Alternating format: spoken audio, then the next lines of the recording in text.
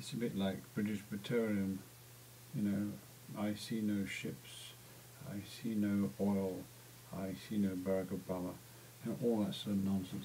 Now this is a, a, a toilet roll didgeridoo.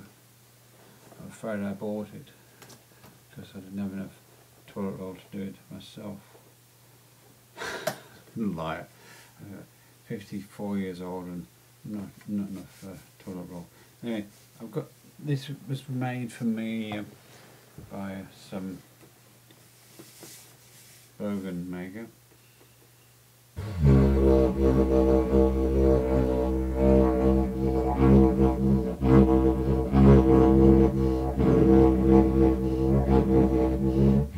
The only trouble with it is it tends to get wet uh, with the condensation. Now you often see it with uh, um, wind players and brass players. Uh, they empty their instruments out uh, of the condensation. It's not spit. It's just con condensation from the lungs and the air as it condenses on the cold pipe.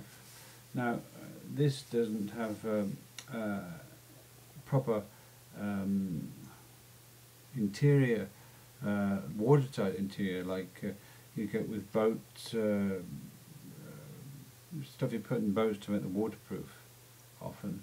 So um, it doesn't have that. You can you can repair uh, damage reduce that way. It won't ever be the same, of course. Now, this this uh, thing tends to get waterlogged. Um, I've never never paid enough to get it waterlogged, but uh, I'm afraid it uh, has the possibility of getting sopping wet.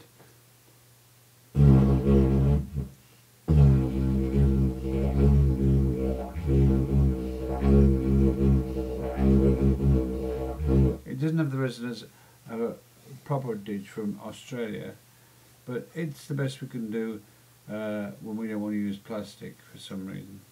Anyway, that's my didge collection. I've got one more didge which uh, I'll get my son to show you maybe. Okay, thanks very much.